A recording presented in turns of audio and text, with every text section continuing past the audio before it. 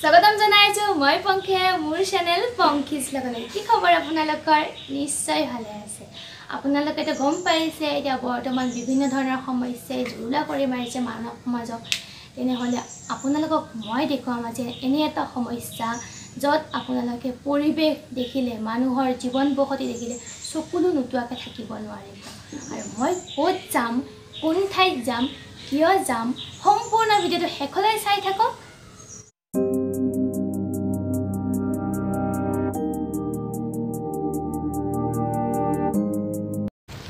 Finally আমি দাদাহঁতক লগ পালোঁ। এয়া মোৰ লগত আছে ঋষিকেশ দা। এয়া কটনৰে দাদা। দাদা এতিয়া আমি ক'ত যাম? আমি বানগ্ৰস্ত অঞ্চল আছে তাতে চাবলৈ যাই আছোঁ। যিহেতু আমি কটনীয়ান জাগৰণ মঞ্চৰ পৰা এটা ফাৰ ৰিলিফৰ হৈ কেম্পেইনিং কৰি আছোঁ য'ত য'ত আছে। এইটো আমাৰ কটনীয়ান জাগৰণ মঞ্চৰ সমূহ সদস্য যোনবিলাক আপাৰ আছামত আছে সিহঁতে আপাৰ আছামৰ ফালে চাই আছে। আমি লোৱাৰ আছামৰখিনি আমি লোৱাৰ আছামৰ ফালে চাই আছোঁ। আজি তাৰে এটা অনুষ্ঠান হিচাপত আমি চাবলৈ আহি আছোঁ বানগ্ৰস্ত অঞ্চল ফালে তেনেহ'লে ব'লক আপোনাক আমি দেখাওঁ কেনেকুৱা হৈ আছে তাৰে পৰিৱেশটো। ব'লক। আমি পালোঁ পালোঁ পালোঁ পাই গ'লোঁ।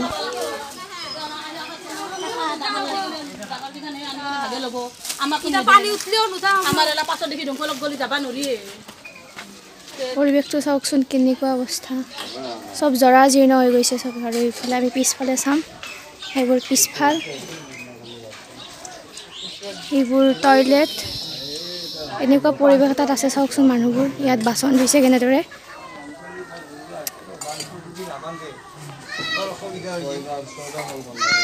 দাদা আছে। তেখেতো আমাৰ লগত কটনতে পঢ়িছিলে। এয়া দাদা। নমস্কাৰ মোৰ নাম নৱজিত দাস। মই ইয়াতে শলমাৰা বাসিন্দা হয়। আৰু এখেত আমাৰ গাঁও গাঁওবুঢ়া হয়। এখেতে আমাৰ গাঁৱৰ পৰিৱেশটো ভালকৈ জানে সেইকাৰণে এখেতক আমি লগত লৈ আহিছিলোঁ বৰ্তমান আপোনাৰ গাঁৱত সমস্যা কি কি চলি আছে? আমাৰ ইয়াতেতো বহুত সমস্যা। ধৰক খোৱা পানী ভাল পানী নাই। হা খোৱা পানী নাই তাৰপাছত আপোনাৰ মানুহখিনি গোটেইখিনি মানুহে দুখীয়া মানুহ গৰীব মানুহ হা মাছমৰীয়া মানুহ গোটেইখিনি মানুহ মাছমৰীয়া মানুহ এই হাজিৰা কামলা কৰে। মাছৰে হাজিৰা কামলা কৰে। কিছুমান ধনী মানুহৰ ফিচাৰী আছে কিবা আছে তাত যে হাজিৰা কৰে এনে ধৰণৰ। গোটেইখিনি মৎস্যজীৱী মানুহ আৰু গোটেইখিনি গোটেই পৰিয়ালটো বৰ দুৰ্বল পৰিয়াল হা কিছুমান ধৰক দুইটা দুই এটা চৰকাৰী ঘৰ পাইছে আৰু কিছুমান পোৱাও নাই হা আৰু এই আজি চাৰি পাঁচটা মোটামুটি মোটামুটি সৰু সুৰাকৈ ছয়টামানে হৈ গ'ল বানপানী। এই গোটেইখিনিতে গোটেই গোটেই মানুহখিনি যাব গৈছে চবৰে আমাৰ আমাৰ তাতে বজাৰত এটা বিল্ডিং আছে বিবাহ ভৱন বুলি। সেই বিল্ডিংটোত কিছুমান যে শিবিৰত ৰৈ আছে। আমাৰ আম, হেৰি হাই ছেকেণ্ডেৰী আছে তাতে মোটামুটি বাৰ তেৰটামান তাতে ৰুম এই ৰুমত গোটেই বজাই হৈছে। এল পি স্কুলত বজাই হৈছে। এনেধৰণে এই ভেটেনাৰীত আছিল কিছুমান মানুহ শিবিৰ কৰি। এনেধৰণে আছে। গতিকে মানুহখিনি গোটেই অভাৱী মানুহ এতিয়া আমাৰ এই গোটেই এই চাৰে পাঁচশ ঘৰ মানুহৰ ভিতৰত। তাৰমানে পাঁচশ ঘৰে আমাৰ চিডিল কাষ্টৰ মানুহ। চিডিল কাষ্টৰ বাকী অলপমান এম কাষ্টৰ মানুহ আছে। এই উত্তৰ চাইডে আঠচল্লিছ ঘৰমান মানুহ। এইখিনিয়ে আৰু ক'ব লাগে। সমস্যা বহুতেই আছে। আজি চাওক এইবিলাক মানুহৰ। কাপোৰ কানি কিবা কিবি বহুত অভাৱ বহুত অভাৱ মানে মাছ আৰু শিবিৰতো আছিলে ন ইয়াৰ মানুহবিলাক? শিবিৰতো আছিল আহিব কিমান দিন হ'ল শিবিৰৰ পৰা আজি এসপ্তাহমান হ'ল আহিবা এতিয়া আমি গাঁও ঘৰৰ মালিকক। ইয়াতে এজন খুৰা আছে আমি খুৰাজনৰ লগত কথা পাতিম। এখেতে এয়া হৈছে খুৰাৰ ঘৰ। পানী কিমানলৈকে উঠিছিল আপোনাৰ?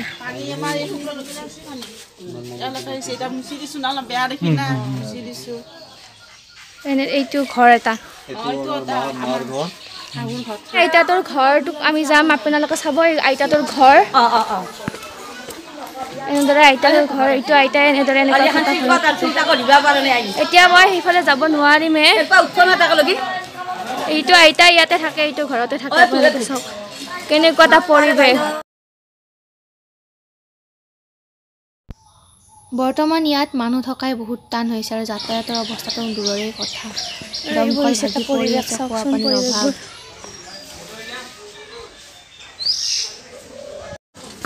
এনেদৰে গলি গলি সোমাম। আমাৰ লগত সেই দাদাজন যে আছিলে কটনত পঢ়াই নৱজিত দাদা সিহঁতৰ ঘৰ। দেখাই আছোঁ আপোনালোকক এতিয়া মই।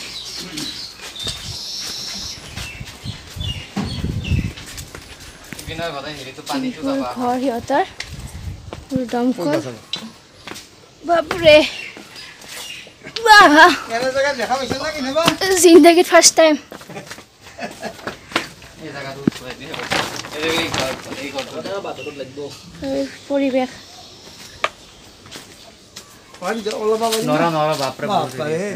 এইফালে এইটো দাদাহঁতৰ ঘৰটো। ঘৰৰ ৱালবোৰ এনেকৈ বাঁহেৰে ৰাখি থৈছে।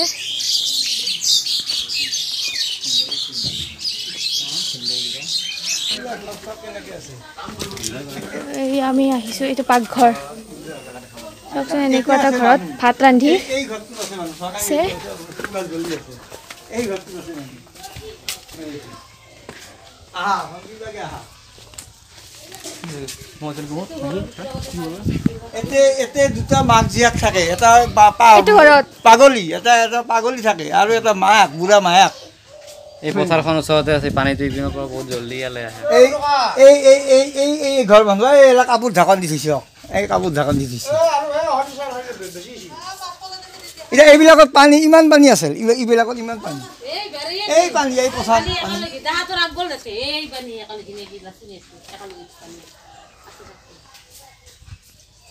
আমি খুৰাজনৰ লগত কথা পাতিম। খুৰা ইয়াত অসুবিধা আপুনি কি কি পাই আছে? তাৰমানে মানে ৰাস্তা ঘাটবিলাক ওলাৰ কাৰণে অলপ অসুবিধা পাই আছোঁ। এই ৰাস্তা তিনিবাৰ আহিল। তিনি তিনিবাৰ আহিলে আধা আহে আৰু আৰু বাদ বাকী নাহে। এই ইনকে বানপানী কেইবাৰমান হ'ল? বানপানী আপোনাৰ যে ছয়বাৰ হ'ল। এইটো মাহত? এতিয়া মাহ ছয়বাৰ হ'ল। আপোনাৰ কিবা ইয়াতে বেমাৰ আজাৰ বানপানী যোৱাৰ পিছত? জ্বৰ কাহ এইবিলাক বানপানীৰ কাৰণে হৈ আছে জ্বৰ কাহ এইবিলাক পানী লগা। আৰু এনেকুৱা পৰিৱেশত আপুনি কি গোন্ধ এইবিলাক সাপ চাপ নোলায় নেকি? সাপ মানে সোমাই সোমাই লোৱাটো উপায় নাই আৰু থাকিব লগা হৈ যাব কিছুমান সলাব পাৰে আমি এই বেৰা চাৰবিলাক ভাঙি গৈছে এতিয়া ঘৰৰ ওপৰত আপোনাৰ মোটামুটি আকাশী পানী উঠছি এতিয়া এককাল বিশুদ্ধ পানী পায়নে নাপায়? পায় একো নাপায় চব আছে আপোনাৰ। এইফালে বিশুদ্ধ পানী পায় আপোনাক কৈছে বিশুদ্ধ পানী মই দেখাই দিওঁ। ইয়াত পাব আপুনি বিশুদ্ধ পানী। এই পানীত দমকলৰ পৰাই পানী খাই খুৰীৰ লগত কথা পাতিম।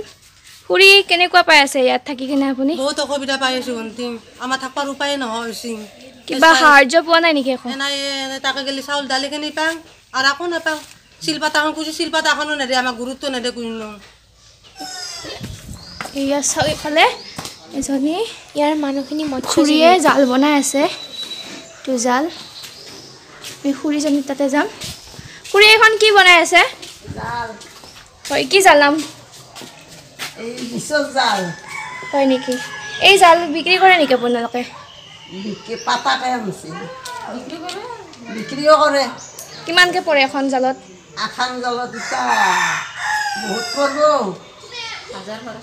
হাজাৰ বাৰশমান হ'ব। খৰচা কিমানমান পৰে এখন বনাওঁতে? খৰচা পৰে। কিমানমান কিমানমান মানে টাঙাই গুলি এনেকৈ মানুহৰ চাটনি বহুত পৰে। চাৰি পাঁচশমান পৰে। এইবোৰ বিক্ৰী কৰি আপুনি ঘৰ চলাই আছে? এই বিক্ৰী কৰিও ঘৰ চলাব লাগিব। আৰু বানপানীৰ সমস্যাটোতো ইয়াতে জুৰুলা কৰি দিছে। মই মানুহখিনিক সকলোকে দেখালোঁ। সমস্যাটো আপোনালোকৰ কিবা অসুবিধা? অসুবিধাই আমাৰ থাকাৰ অস- এইবিলাক তল গৈছিল আমি স্কুলত যাই আছিলোঁ। আৰু এইবোৰ চাওকচোন আমি মানুহৰ ঘৰবোৰ চাই লওঁ এনেকৈ কেনেকুৱা আছে।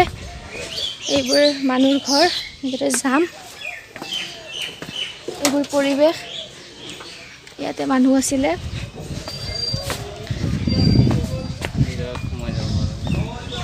এই এটা ঘৰ মানুহ ইয়াতে মানুহ থাকে। এই খুৰীজনীৰ ঘৰটো ভাঙি গৈছে চাওকচোন। এতিয়া তেওঁলোক বেলেগত আছে। এইটো ঘৰ। ইয়াত মানুহ থাকিব পাৰিবনে ভাবকচোন এবাৰ। গতিকে আপোনালোকলৈ ৰিকুৱেষ্ট থাকিল। মানুহবোৰৰ কথা অকণ ভাবক। দাদা আপোনাৰ এই গাঁৱৰ পৰিৱেশটোৰ বাবে আপোনাৰ কিবা মতামত আছে। নেকি? চাৰি পাঁচবাৰকৈ বহুত বেয়াকৈ বানপানী আহিছে বহুত বিধ্বংসী ৰূপ লৈছে মোটামুটি। প্ৰায় বানপানী যোৱাৰ পিছত পানীবিলাক ইমান বেছি প্ৰদূষণ হৈ গৈছে তাৰপিছত মানুহবিলাকৰ মানে বেমাৰ আজাৰ বহুত বেছি হৈছে। ষ্টিল কৰোণা ভাইৰাছৰ কাৰণে হয়তো মানুহবিলাক মেডিকেলত যাব পৰা নাই ঠিক।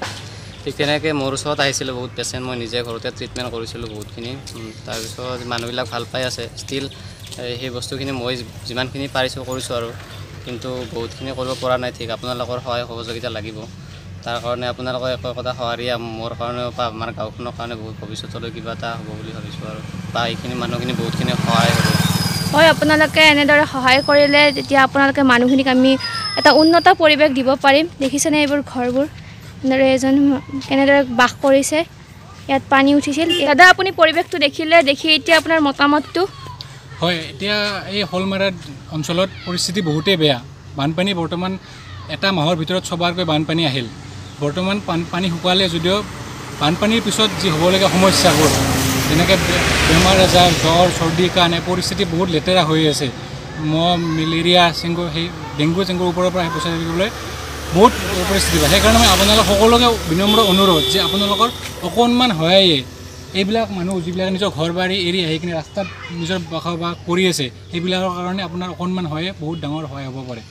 গতিকে এই ভিডিঅ'টোৰ লিংক শেষত এটা লিংক দিয়া হ'ব মিলাপৰ য'ত আমি কটনিয়ান জাগৰণ মঞ্চৰ ফালৰ পৰা ফ্লাড ৰিলিফ কেম্পেইনিঙৰ কাৰণে আমি ফাণ্ড ৰাইজ কৰি আছোঁ। আপোনালোকে তাত গুগল পে' ফোনপে' যিকোনো কৰিব পাৰে। আপোনালোকৰ অলপ সহায় আমাৰ কাৰণে বহুত ডাঙৰ। আৰু এই বানপীড়িত লোকসকলৰ কাৰণে বহুত ডাঙৰ এটা হ'ব ধন্যবাদ। এইবাৰ আমি কথা পাতিম কটন বিশ্ববিদ্যালয়ৰ সাধাৰণ সম্পাদক ৰাহুল বৰদলৈদাৰ লগত। বানপানীৰ এই দুৰ্যোগৰ সময়ত কটনীয়াৰ ফালৰ পৰা যি ক্ষুদ্ৰ সহায়ৰ কাৰণে যি প্ৰচেষ্টা হাতত লোৱা হৈছে তাত আপোনালোকে সকলোৱে সহায় কৰক। আমিও কটনৰ ছাত্ৰ ছাত্ৰীসকলক অনুৰোধ জনাইছোঁ।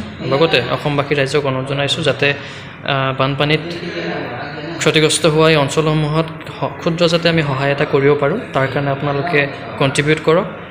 ইয়াত যি যিখিনি আপোনালোকক লিংক দিয়া হৈছে সেই হিচাপে আপোনালোকে যি পাৰে সেই হিচাপে আপোনালোকে নিজৰ অনুদানটো তালৈ আগবঢ়াব বুলি আশা ৰাখিছোঁ। ধন্যবাদ। ঘৰ আহি পালোঁ। মই ভিতৰত নাযাওঁ। এয়াই আছিল শলমাৰা অঞ্চলটোৰ এটা হৃদয় বিদাৰক পৰিৱেশ। অসমৰ বিভিন্ন ঠাইত বৰ্তমান এনে পৰিৱেশৰ পৰিলক্ষিত হৈ আছে যিহেতু বৰ্তমান বানপানীৰ পিছৰ পৰ্যায় চলি আছে। গতিকে আমি কটন বিশ্ববিদ্যালয়ৰ প্ৰতিজন ছাত্ৰ ছাত্ৰীয়ে এই মানুহখিনিক সহায় কৰিবলৈ আগবাঢ়ি আহিছোঁ। আপোনালোকেও আমাক সহায় সহযোগিতা আগবঢ়াওক। আপোনালোকৰ সহায় সহযোগিতা এইসকলৰ বাবে অতি মূল্যৱান। মই তলৰ ডেছক্ৰিপশ্যন বক্সত লিংকবোৰ দি দিম। আপোনালোকে ফোনপে'ও কৰিব পাৰে গুগল পে'ও কৰিব পাৰে। যোনে যেনেদৰে পাৰে আমাক সহায় কৰক যাতে আমি এই বানৰ বানাক্ৰান্ত মানুহখিনিক সহায় কৰিব পাৰোঁ। যদি ভিডিঅ'টো চাই ভাল লাগিছে তেনেহ'লে লাইক কমেণ্ট এণ্ড শ্বেয়াৰ কৰিবলৈ নাপাহৰিব। যদিহে আপুনি মোৰ চেনেলত নতুন হয় তেনেহ'লে মোৰ চেনেলটো ছাবস্ক্ৰাইব কৰিব। লগতে ঘণ্টা বটনটো বজাই দিব। বাই